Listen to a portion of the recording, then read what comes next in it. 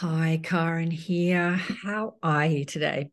Well, I'm sitting here, have been sitting here for the last 45 minutes, about 50 minutes now, waiting for someone to show up for a show and they haven't shown up. I was going to actually speak with Bill Bennett today about his latest documentary, Facing Fear.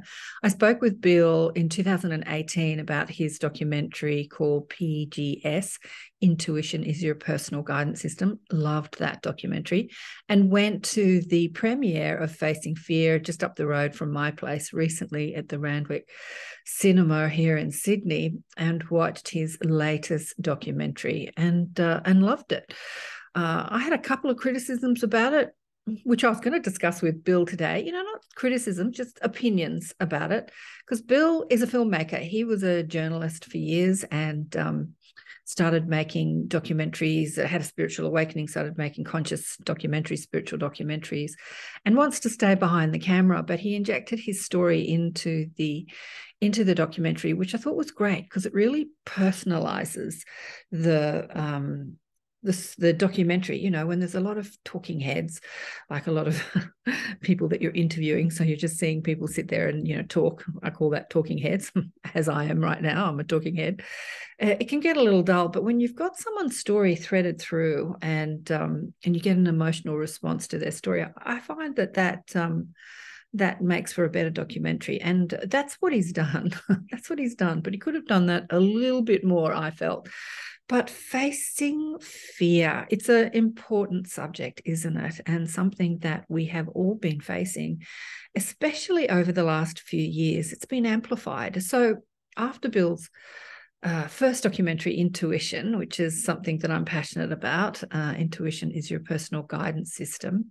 Our emotions, something that I teach as a teacher of deliberate creation. He said to me, I'm going to make a documentary about fear. And I thought, hmm, interesting choice after you've made a documentary about psychic ability and intuition. I thought, I wonder why he's going to make a documentary about fear, guided as he was. And then we had uh, the events of the last three years happening, and a lot of people went into fear. And I thought, well, Bill, good call, good call to make a documentary about facing fear. And it's a beautiful documentary with a very important message. And I wanted to use this time to talk about how we all face fear. Plug fell out. And how you face fear. How do you face your fears? Because fear, there's a few acronyms for fear, isn't there? False evidence appearing real, or feeling alive, or energized and ready. How does it go? Um, anyway, there's a couple of ac- acronyms for fear, but it's something that we all live with. I remember when I spoke to Scarlett Lewis about the senseless murder of her five-year-old in a school shooting in uh, in the states a few years ago, quite a few years ago now, probably about ten. But uh, I spoke to her not quite ten years ago. Anyway, I'm getting into details, and she said something really fascinating. That after 25 years of showcasing New World teachers and experiences, I had not heard before. She said that her greatest fear was realized. And when she realized her greatest fear, which was that of a mother, the senseless murder of her beautiful child, you know, an innocent, helpless five year old, um, that all her other fears faded away, dropped away, just dropped away because her biggest fear was realized. And um, in the realization that she no longer had any fear, she fell out of depression and into a state of grace. And for about eight months, she was in the state of grace and she got a lot of work done. She realized that the shooter, who was a child that went to the school, grew up, didn't know how to process his negative emotions. And they amplified and momentum built, and eh, his anger and fear grew and he went back to the school and shot about 20 students and teachers. That if somebody had taught him how to process his negative emotions and what that meant that maybe that wouldn't have happened. And so she implemented a program called the enrichment program. It might be called something different now. It's been a few years since i spoke to her. And um, and implement is putting that into schools across the world. I think thousands of schools are now implementing this program, teaching kids about their emotions and how to process their emotions and their fear. And she also said something really interesting. She said that she had almost uh, an in-body life review when she sort of realized that she was no longer fearing anything anymore because her greatest fear had been realized. And she looked back at her life and she saw that pretty much every thought she'd ever had was rooted in some kind of worry or fear. And it was enlightening to her how often she was in fear. And I think that that's the mainstream condition for most people. We don't always recognize fear as fear. What do you think of me? Am I good enough? Am I running late? I don't want to upset you. Uh, I don't want to be late because, you know, I don't want to upset you. Then what do you think? Because there is this underlying subconscious programming that happens to us on an ongoing basis on billboards, on television ads, on internet ads that is constantly perpetuating this rumbling of fear that we is like most of our default setting. And, you know, like for women, uh, you know, like, are you thin enough? Are you fit enough? Are you pretty enough? Uh, wear this makeup, buy this face cream. It's it's actually all based in fear when you look at it. And I think that recognizing the fears that we have allows us to be able to deal with them. But many of us don't even recognize it. And so when Scarlett said that when she had looked back on her life and she saw that most of her thoughts were based in fear, there was that moment of awareness that I think all of us could use to be aware of what we're believing to be true. Because much of it is such deep programming it's like a default setting. We just naturally go there. We just go there. Even discounting, like when we go to the supermarket and look for the cheapest thing, because this is something I like to do all the time. I was working with my fear around money for so long and um, feeling lack, feeling that lack and, and not enoughness, that I would always buy everything that was on sale. But that is just deep rooted fear and then I would challenge myself to go to the supermarket and try not to look at the price of something and just buy it because I wanted it and not because it was on sale. And like working with my fear in those ways. So there are big fears and there are little fears, but those little fears that run us, they culminate, don't they? They culminate into bigger fears. And so when we hit pressure, when life squeezes us, you know, when circumstances happen, things don't go right, we get sick, people die. When there's this pressure cooker of life that where the things that we want to happen don't happen, all that combination of little fears, those underlying default settings, they amplify and culminate and turn into panic and and bigger fears and worry and anxiety and not enoughness and depression. It all culminates, isn't it? So one of the best ways to face fear is to first be aware of what we're believing to be true about ourselves, about this life, about our place in this life, about our power.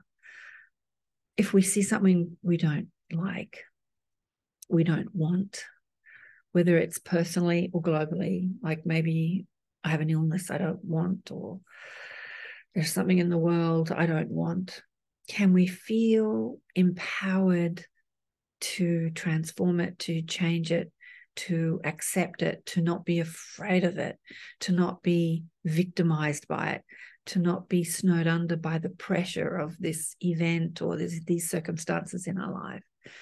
And I think that when we are aware of the beliefs that that run us, those fearful underlying subconscious beliefs, then we have, we take back our power because ultimately it's only what we believe that creates our life.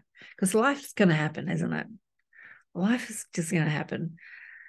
There's the you know the contrast the dramas in life are, are going to happen. But how do we meet them? How do we meet the challenges of life? Do we meet them with acceptance and knowing that if this isn't happening now it'll happen later or i can make a change and things will ha- you know go my way later? Or do we hit it with um, oh, everything goes wrong and nothing's going right and I'm not good enough and I can't get what I want and life sucks. life's a bitch and then you die. It's one of the sayings, life's a bitch and then you die.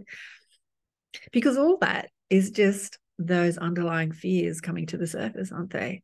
instead of um, that love and power of who we are as infinite creative potential. And the contrasts of life, the challenges of life, we can meet them with excitement and knowing that if things aren't going right, then something else is coming along that might be even better than what we planned. So as I sit here today, um, talking to you because somebody hasn't shown up for the show, I'm turning that into.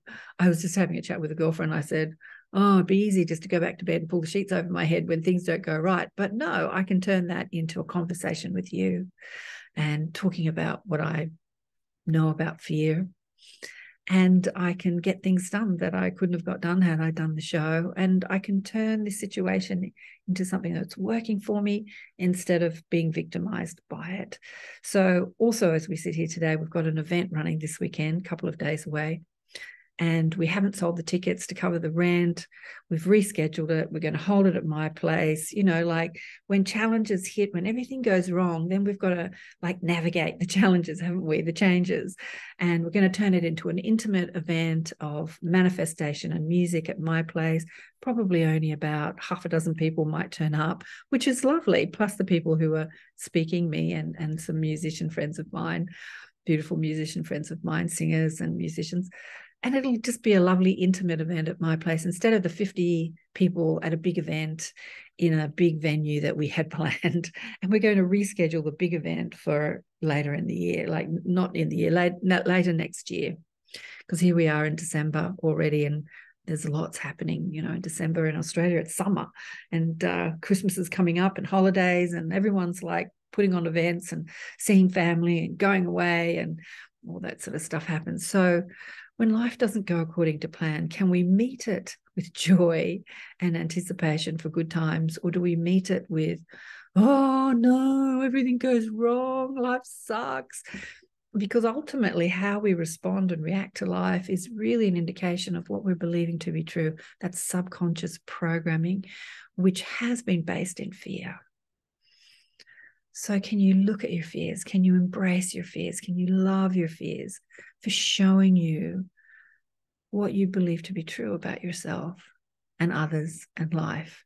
Because awareness of what you believe and who you believe that you are is one of the most potent, powerful things you'll have in creating the life you want and being a genius, deliberate creator of your reality, here to affect the transformation of the subconscious programming, collective programming of this world as we move out of fear and into love, out of separate consciousness and feeling separated from what we want and separate from love and separate from each other and separate from God into unity consciousness, which is collaboration, cooperation, and unity, and ultimately love, joy, and bliss.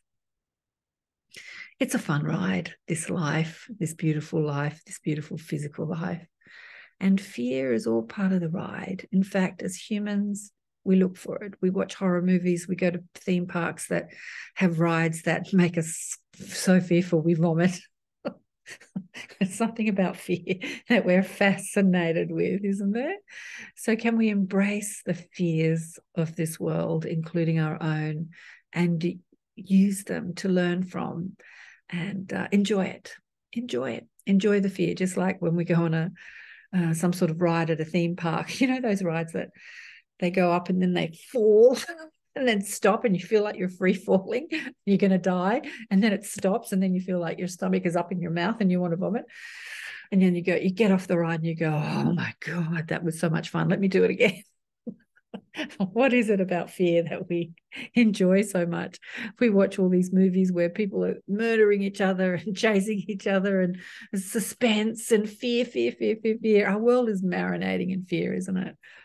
But, you know, overcoming fear is embracing fear, isn't it? It's embracing the ride of life and all that it offers, and knowing that every emotion is guidance. And and when we're feeling stressed or worried or anxious, that is an indication that we're believing a truth that isn't our truth, isn't the truth of who we are as infinite deliberate creators, infinite genius, creative potential. We are an extension of the creator. We are the creators of our world. We are the creators of what we believe, how we think, and how we feel. And fear is an indication that uh, there is a belief running, a program running, it's active in our vibration, it's pointing to it. It's a very clear indication of what we're believing to be true.